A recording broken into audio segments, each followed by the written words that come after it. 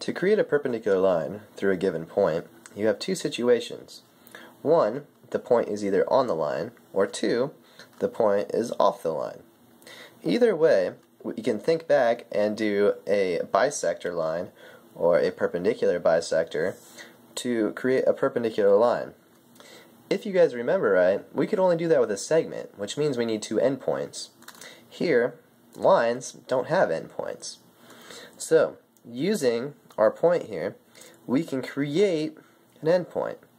So if I come over here on my compass and let's say I pick point right here at one and a half.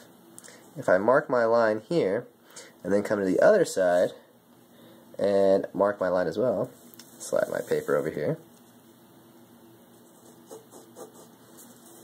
Alright, now what I've done is I've created two endpoints so that I have a segment where my original point here is the midpoint. Well now, if I create that perpendicular bisector through there, I'm going to have a nice perpendicular line. Think back, how did we do that? Get on the endpoint, go beyond halfway, and create a mark up above and down below. Go to the other side, do the same thing right here. Remember which hole you used.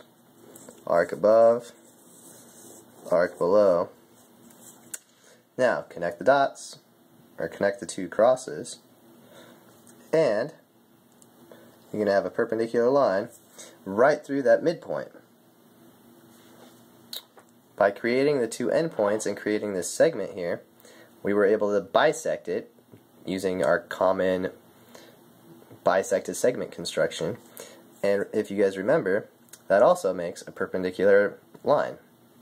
Now, if we come over to the point where it's off the line, we can do something very, very similar.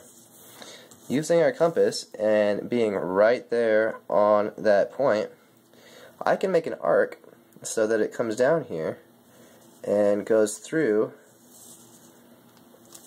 my line. Here, I have created two endpoints once again. As once you have those endpoints, you just have a really tiny segment that we can bisect or chop in half. So, let's bisect it.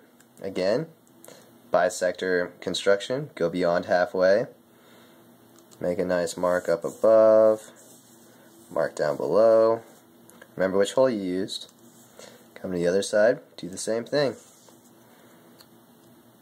mark above, mark down below, and we're going to have a nice perpendicular line